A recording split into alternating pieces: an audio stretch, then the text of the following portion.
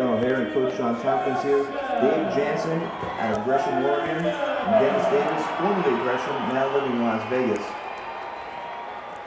Let's go down to the referee, Steve Mazzagatti, for the instructions. Give us a good, clean, fair fight. You need to obey my commands, protect yourself at all times.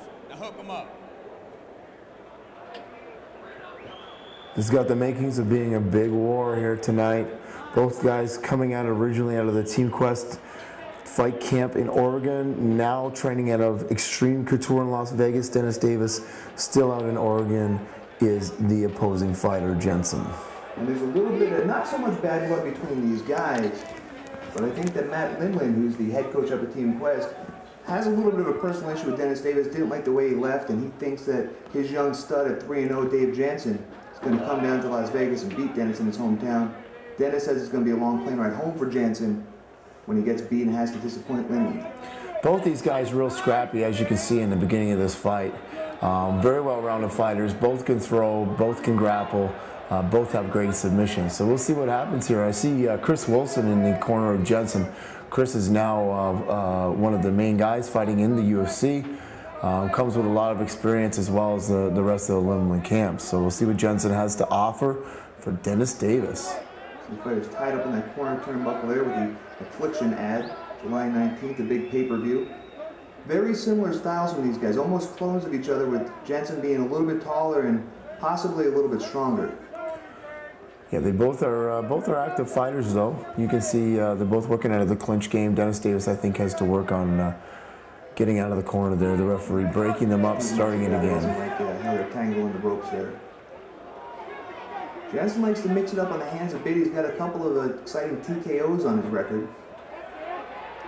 Nice to see Dennis Davis show a little bit of ex his experience in the hands, moving his head a little bit. Uh, he's really got to get inside that long reach of Jensen.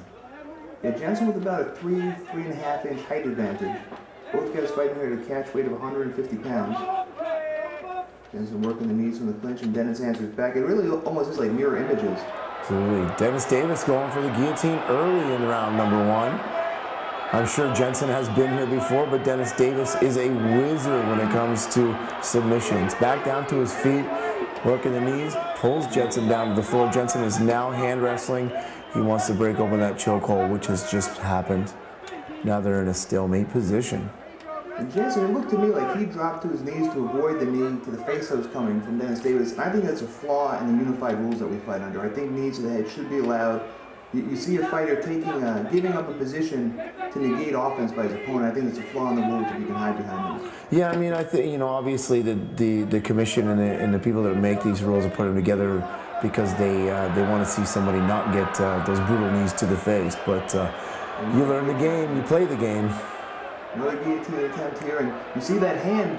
Jansen might be thinking of tapping. He's got that hand out, but I think Davis a little bit high on the head. There. Yeah, he's high on the head. You can see how release it, and uh, Jensen was real smart keeping his posture in that uh, that position. Now Dennis wasting a lot of energy there in, in, that attempt and finds himself in a bad position here underneath the very experienced grappler. Dennis trying to keep keep his body and head out to the side there. Jesse just passing over. Uh, he's got one leg out. He's the other one's in his half guard. The pass half guard. It looks like. And it looks like he's going to work for a choke of his own here. He's sinking it in. Dennis is smart. Look at him hand wrestle, controlling that wrist. Excellent defense by Dennis Davis. He's got to scurry and get to his feet, though. You do not want to be on your back in a position like this with a guy with long arms like Jensen. Jensen has uh, good control when it comes to the to the ground. The ropes there. It looked like a big right hand was coming. The ropes giving a little bit of an assist there to Dennis Davis. I don't like how Dennis keeps locking up those ankles in the guard position. He's got to get back up to his feet. He's got to get out of this position. Jensen's just going to keep scoring points. Giving up his back now to Jensen is Dennis Davis. Not a good move to be in once again. He's got to make a quick scramble here, turn into him, or get up to his feet as quickly as possible. And get his hook in there on the left side, riding high in the back here, Davis. Excellent advertisement for the sponsors there, as you can see from that camera angle. And uh, how important are the sponsors, Shawn, to these fighters? Well, you know, a lot of these guys, they make a bulk of their money on the sponsorships, and it brings money in for these guys in between fights. People forget, they say, oh, this guy gets paid this or that for a fight.